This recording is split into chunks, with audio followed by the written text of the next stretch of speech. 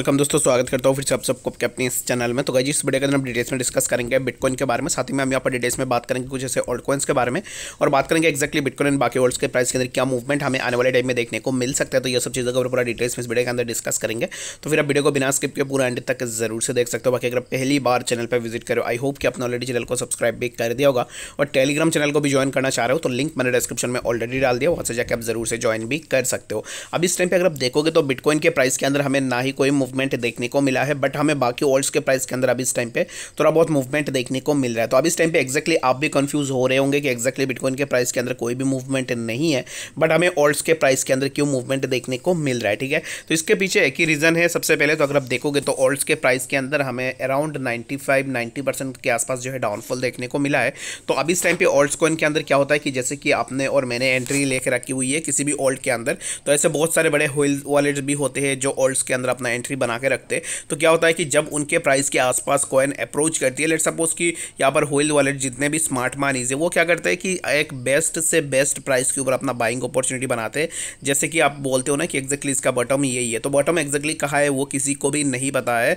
सिर्फ़ यहाँ पर जितने भी स्मार्ट मानीज है, वही बॉटम को क्रिएट कर सकते हैं और वही टॉप को भी क्रिएट कर सकते हैं, ठीक है? तो एक्जैक्टली अभी इस टाइम पे क्या हो रहा है कि जितने भी कॉइन्स को अगर आप देखो सुशी को देख लो या फिर आई को देख लो या फिर डी को देख लो तो इन कॉइन्स के प्राइस जो यहाँ पर ऑलरेडी हमें बहुत ज़्यादा नीचे देखने को मिला है। सिर्फ़ ये कॉइन्स नहीं है D Y D X sushi नहीं है।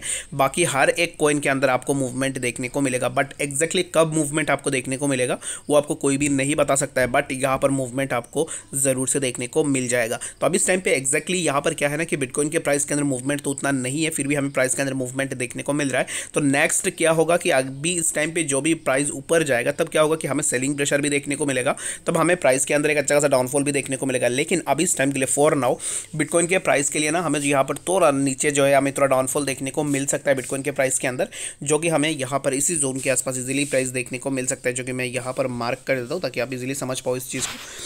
तो प्राइस जो है हमें यहाँ पर 16,800 के आसपास जो ट्रेंड लाइन है इसी ट्रेंड लाइन के आसपास हमें प्राइस के लिए एक सपोर्ट देखने को मिल सकता है। इसी सपोर्ट के आसपास हमने प्रीवियसली डिस्कस भी करके रखा हुआ है कि एक्जैक्टली अगर यहाँ पर जो है बिटकॉइन की प्राइस नीचे आती है तो फिर एक्जैक्टली कहाँ पर हमें सपोर्ट देखने को मिलेगा।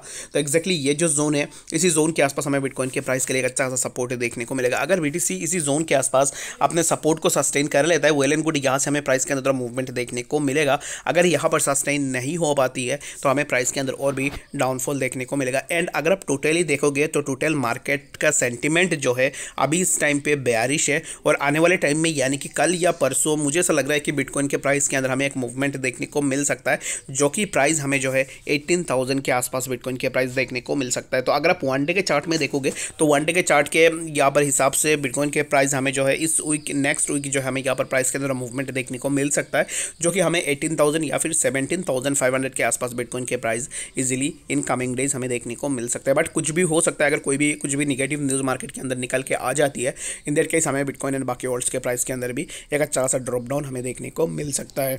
तो आज के दिन के लिए यहाँ पर सबसे इंपॉर्टेंट क्या होगा कि ये जो ट्रेंड लाइन है, ये ट्रेंड लाइन सबसे ज़्यादा इंपॉर्टेंट होगा, क्योंकि बीटीसी अगर इसी ट्रेंड लाइन के आसपास अपना सपोर्ट को सस्टेन करता है वेल एंड गुड यहाँ से हमें प्राइस के अंदर मूवमेंट देखने को मिलेगा। अदरवाइज़ हमें यहाँ से प्राइस के लिए नेक्स्ट जो मूव देखने को मिलेगा सिक्सटीन के आसपास। एंड यहाँ पर भी अगर बी अपना सपोर्ट को सस्टेन नहीं कर पाएगा तो हमें प्राइस देखने को मिलेगा सिक्सटीन के आसपास, ठीक है? तो इन जोन्स को आपको ज़रूर से देखनी है और यहाँ पर इन जोन्स के नीचे अगर प्राइस आती है तो वेल एंड गुड हमें यहाँ से प्राइस जो है इसी जोन के आसपास भी देखने को मिल सकता है sixteen hundred three hundred and later हमें प्राइस के अंदर और भी ड्रॉप डाउन देखने को मिल सकता है। अगर अभी इस टाइम के लिए फॉर नाउ अगर आप किसी भी कॉइन के अंदर लॉन्ग में नहीं जा रहे हो, अगर आप वेट कर रहे हो कि प्राइस और भी नीचे आए तो ये आपके लिए भी बहुत ज़्यादा सही है, क्योंकि अभी इस टाइम पर अगर आप देखोगे तो मार्केट के अगर सेंटिमेंट को देखोगे एफटीएक्स और भी बाकी ऐसे न्यूज़ को अगर आप देखोगे तो इसके हिसाब से मार्केट और भी नीचे आ सकता है, जिसके कारण आप और भी नीचे अपना एकोमुलेट कर सकता है कर सकते हो ठीक है? हो सकता है कि मार्केट यहाँ से बाउंस बैक करके थोड़ा ऊपर चला जाए। अगर मार्केट 18,000 तक भी जाता है तो मैं ये आपको बोल रहा हूँ ये आप कहीं भी, भी लिख के ले सकते हो।